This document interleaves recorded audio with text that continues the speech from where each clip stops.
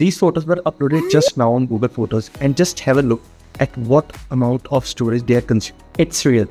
Google Photos packing up my photos without taking up any space. Now heck, I know what I said in my last video. After Google stopped giving unlimited cloud storage for Google Photos, just like you. Okay, so I was wrong, but in a good way. There's actually this feature partner sharing that makes unlimited backups just possible. This will require only two accounts. First one will be our main account and the second one will be our partner.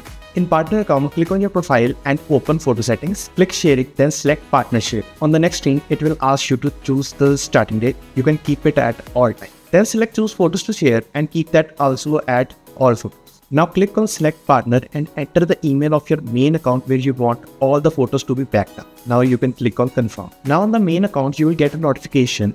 Open that notification and select accept. Now open partner account and open its backup settings.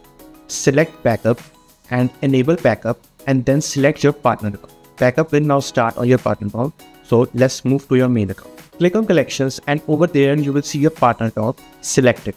Open settings by clicking on the three dots at the top right corner and then select save to your account option. Select all photos and click done and that's it. If there is some old unpacked media, it will start backing up into your partner account automatically.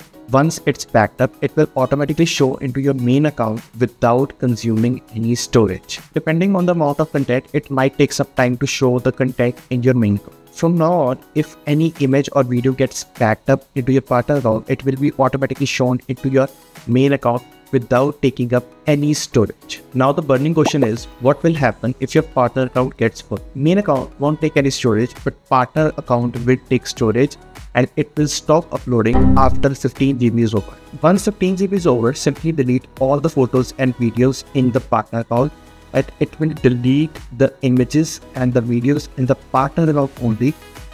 The content in the main account will remain as it is. But before deleting images, here are a few things to keep in mind. Do not directly delete photos from your phone gallery as sometimes Google skips backing up media. Best way is to open up the Google Photos app, select your profile icon, and then select free up space. So with this, Google Photos will only delete the images that are backed up into your partner account. And before deleting anything from your partner account, make sure the same content is available in the main account.